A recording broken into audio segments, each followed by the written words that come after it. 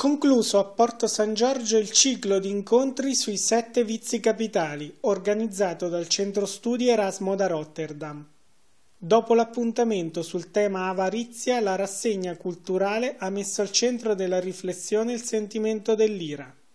L'appuntamento è stato patrocinato dall'Ordine dei Medici, Chirurghi e Odontoiatri della provincia di Fermo e dall'Ordine degli Avvocati di Fermo, che ha riconosciuto valore formativo alla conferenza.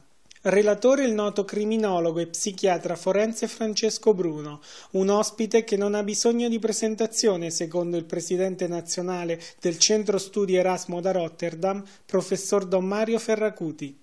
Non è necessario, credo io, presentarlo perché lo conoscono tutti, perché lo vediamo in televisione, soprattutto noi lo ammiriamo per le cose che egli dice.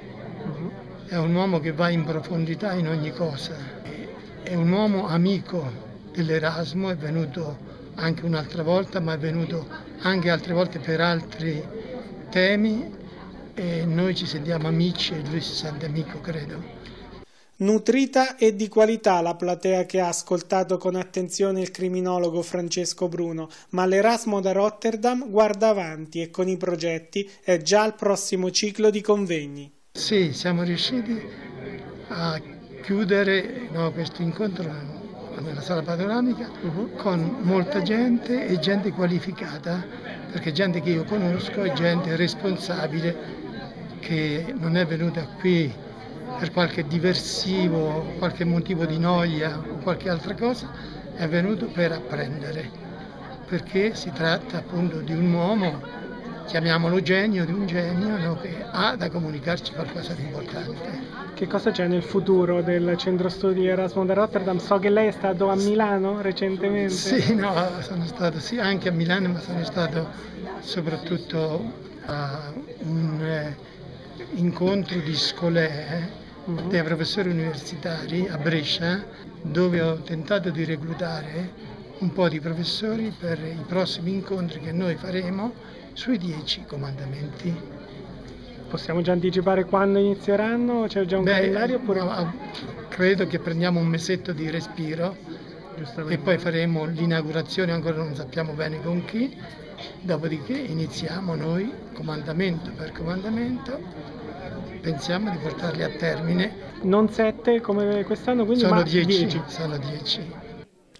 Professor Francesco Bruno, come definirebbe l'IRA? Eh, l'ira è un'emozione che dovrebbe essere al nostro servizio e invece è usata per scopi distruttivi che non, hanno, non solo non hanno a che vedere con il nostro servizio, ma al contrario ci fanno male. Che impatto sta avendo sulla società attuale? Che legame c'è con l'attualità? Purtroppo c'è un legame che continua ad essere stretto, non è stretto come in passato, però continua ad essere stretto e noi continuiamo a non poterci liberare dalle, dalle componenti negative dell'IRA. Lei farà anche degli esempi provenienti dalla sua attività di medico psichiatra e di criminologo? Beh, diciamo che io vedo sia danni prodotti dall'IRA sia danni non prodotti dall'IRA.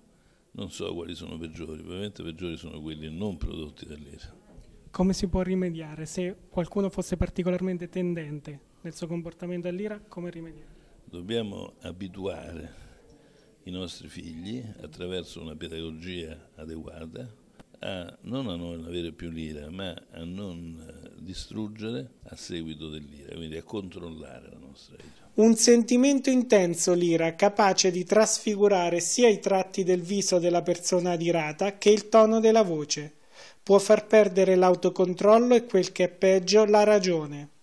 Esempi dell'attenzione che l'uomo dedica all'ira sono presenti anche nella letteratura, dall'ira funesta del Pelide Achille nell'Iliade di Omero al Deira di Seneca, alla Divina Commedia di Dante Alighieri, che nell'ottavo canto dell'Inferno inserisce gli iracondi e accidiosi all'interno del quinto cerchio.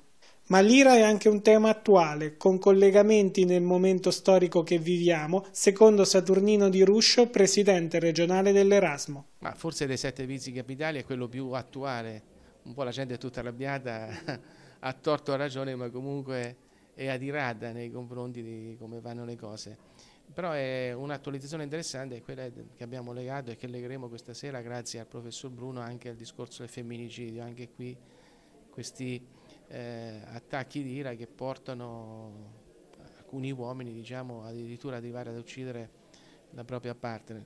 È qui che si dimostra l'ira in tutte le sue componenti, quindi la mancanza di autocontrollo, di razionalità che porta appunto a compiere che non hanno niente a che vedere con quella che è la caratteristica dell'essere umano, la razionalità e l'autocontrollo.